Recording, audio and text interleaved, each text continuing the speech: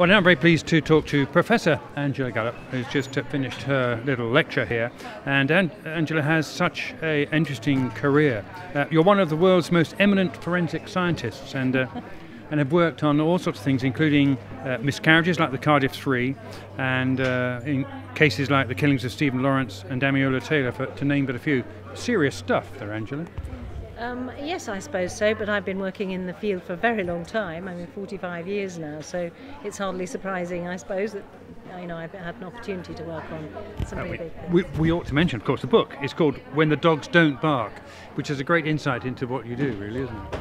Well, yes, I mean, the, the title is really meant to um, illustrate the subtleties of forensic science, because I was, I was writing it for a number of reasons, really, but partly so that people understand what real forensic science is like, as opposed to the stuff that you see on television in the films, which is great entertainment, and I uh, don't decry it, but, um, but is not like real life. And I think the title came because I was thinking of well, you know, links with forensic science. You know, you, uh, you can liken that to dogs barking, but sometimes, you know, when you've got a positive link, but sometimes where you haven't got a link and you'd expect one, um, that can be just as informative. And so that's uh, equivalent to dogs not barking. So that's how it came about. Very good, too. Um, I think Isle of Wight has an important part of your life. Yes, my uh, my career, certainly my early career, um, Isle of Wight was very central to that. Uh, there came a time when I was doing, um, uh, I'd been to university and then I was doing a research degree, wondering what I was going to do next. Um, and I was uh, investigating the biochemistry of sea slugs. And the sea slug I was interested in um, is only found on the Isle of Wight, and I think there's one other site up in Scotland somewhere. So the Isle of Wight was incredibly important, and I remember with great fondness lots of trips over in my Fiat 500 in those days, amongst all these big lorries on the ferry, um, collecting these, uh, you know, a few, a few specimens of these slugs and the seaweed they lived on, um, and of course lots of proper seawater for them to live in. And so that was um, that gave me great memories of the Isle of Wight. It's still quite away from sea slugs to what you do now. Yes, but they were helpful actually in making me see that um, life as a pure scientist was never going to work for me. I mean, I think for my research, there were probably only about six or seven people around the world who would be interested in what I was uh, discovering. And I realised that I needed a far larger audience for my efforts, and I needed to be immediately important to people. And so it was obviously going to be an applied science job. And it was a friend of mine actually who was the same, in the same position as I was. He was writing up his um, his thesis, his PhD thesis, and he came across the library one day and said, "Hey, Angela, you've been belly aching about you know what you're going to do next. Here's a job in the Forensic Science Service that might just suit you." So actually, it's thanks to him that uh, that I've had these last 45 years as I have. Um, without being specific, I suppose, but you know, you've worked on so many famous cases. What, what ones stand out for you? I think there are many of them that stand out for different reasons, but I suppose the one, one of the ones that I really, um, I don't know if you can say you're fond of a case, but you know, well, the equivalent anyway, um, is the Coastal Path murder, and that was really partly because it was such a difficult case to do, not not so much in terms of scientific terms, although it certainly was far from straightforward, but because the police, it's a small rural force, Dyfed, Powys, who was responsible for investigating this dreadful crime, and other, there was another double murder, and there was a um, there was a sexual assault of two young women. Um, in a party of five at gunpoint. So there was awful things happening in that part of the country, um, and the force didn't, but didn't have very much money to spend on reinvestigating this old case, the Coastal Path. And so um, they said, could we just focus on DNA? And we did that, and that was quite difficult. The Coastal Path victims, Gwenda and Peter Dixon, weren't their bodies weren't found for about a week after they died, which gave us some technical problems. Um, but anyway, I didn't realise just how uh, you know how bad things were getting in the force until the investigator rang me up one day and said, "Angela, you're complete rubbish. You've been trying to find DNA. You've been failing. I'm going to take this case off you and give it to someone else."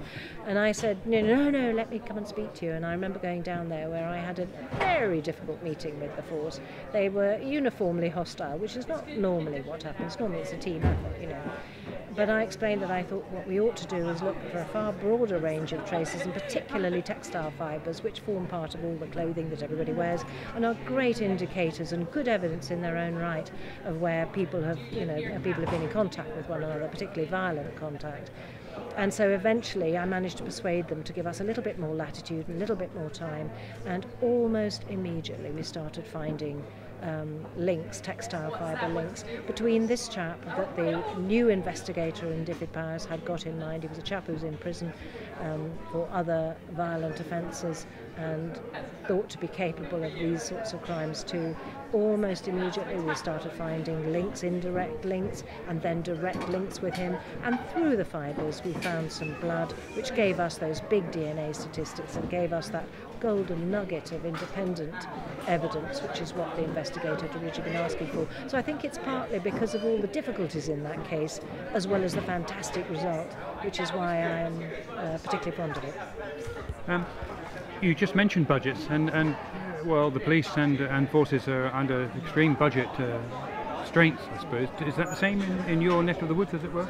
Absolutely, and it's another reason for writing the book to highlight the dangers um, of what's happening in forensic science at the moment and um, particularly the fact that it's been it's all about saving money and I've got nothing there's nothing wrong with that. You know you have to do things as cheaply and quickly as you possibly can. Obviously any part of public um, public service is like that but the problem is that forensic science has been now so commoditized to a series of simple tests that we're forgetting how to link them all up together and we're forgetting some of the skills, we're being de-skilled, some of the more expensive areas, but that can give you amazing results and maybe shortcut a lot of other things, you know, including some big things like reinvestigations and public inquiries. If you solve the crime as quickly as you can, then it sorts out all of that sort of expense.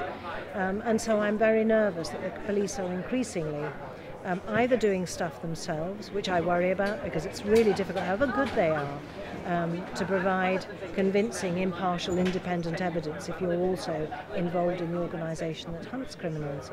Um, but also because it's very difficult to do anything half difficult by saying I'll have six of that test and two of the other and hope we hit on something useful because that's not going to get you there.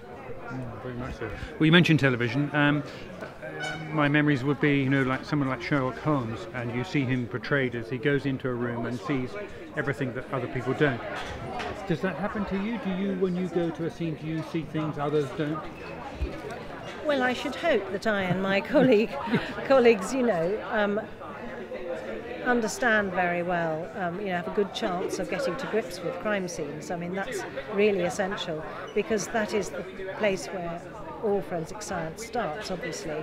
Um, and it's really, really important. I've discovered over the years, and especially doing these really complicated cases and old cases, it's really important to go back to the crime scene because by understanding the sequence of events, you know, what happened there, that's what tells you what your forensic opportunities are. And forensic scientists should be really good at that. They should be very observant about things. Um, and that tells you what to collect and what to examine first and how to examine it um, and all the rest of it. So I'm not sure that we do it exactly like Sherlock Holmes did, and, but we certainly, um, I think we certainly have a great part to play at crime scenes, and um, and it's really important that we continue to be involved in them. Very much so. Well, I could talk to you all day, Angela, because it's a fascinating subject, and you're a real life investigative forensic scientist. It's just amazing. Uh, well, the book's called When the Dogs Don't Bark by Professor Angela Gallop, and uh, best of luck with the book. Thank you very much indeed. Thank you.